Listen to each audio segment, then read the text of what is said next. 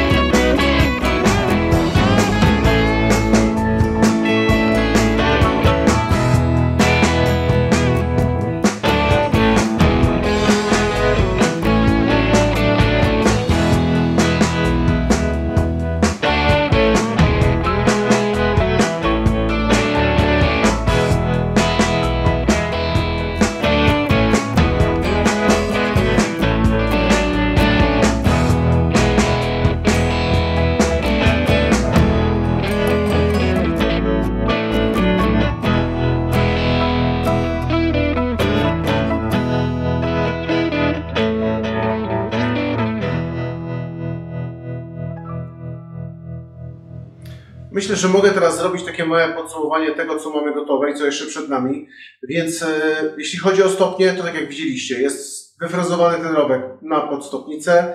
E, na podstopnicę jeszcze czekam. E, to będą z MDF-u lakierowane na czarno, więc czekam jeszcze, aż się wylakierują. E, jeśli chodzi o stopnie, stopnie już są polakierowane i są już gotowe, przygotowane do montażu. Jeśli chodzi o spocznik, leży koło kamery.